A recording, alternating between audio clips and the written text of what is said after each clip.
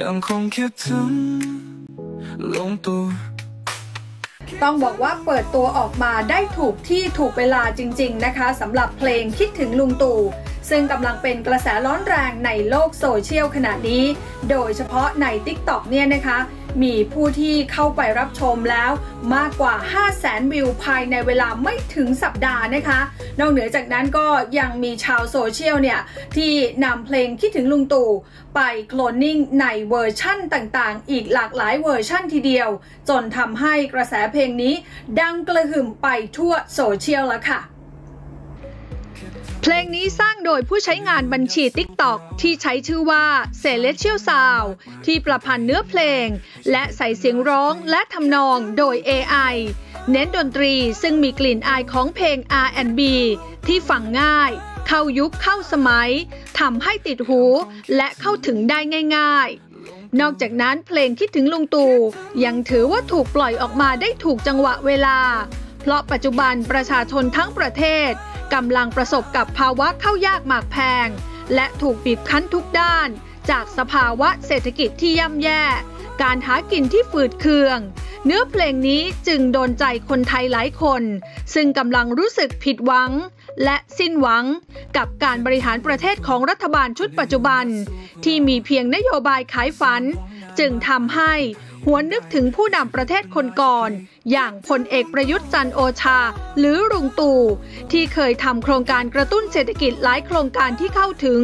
และช่วยเหลือชาวบ้าน ในระดับรากหญ้าได้จริงไว้หลายโครงการ อาทิ โครงการคนละครึ่ง โครงการบัตรสวัสดิการแห่งรัฐแต่ในขณะเดียวกันก็มีคนจำนวนไม่น้อย ที่เคยกลด่าลุงตู่เอาไว้ จึงไม่กล้าที่จะเผยความรู้สึกที่แท้จริง เพลงนี้จึงกลายเป็นตัวแทนเสียงเพลียก จากก้นบึงของความรู้สึกคนไทยส่วนหนึ่งไปโดยปริยายลุงตู่ลุงตู่อยู่ไหนรู้ไหมคนไทยตอนนี้คิดถึงลุงตู่ชัดชัดชัด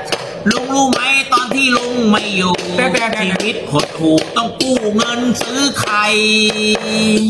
ปรากฏการณ์คิดถึงลุงตู่ fever ที่เกิดขึ้นในโลกโซเชียล และดังเป็นพลุแตก ก็ทำให้เกิดดราม่าจนได้ เมื่อกลุ่มด้อมส้มออกมาตั้งข้อสังเกตว่า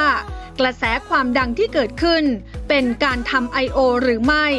ร้อนถึงผู้แต่งเพลง ต้องออกมาปะชาดะ พร้อมยืนยันว่าไม่ได้เป็น I.O. ไม่ได้ค่าจ้างหรือสังกัดพักการเมืองใด แต่ทำเพลงนี้ขึ้นมา เพราะคิดถึงลุงตู่จริง ๆ และย้อนคนเห็นต่างว่า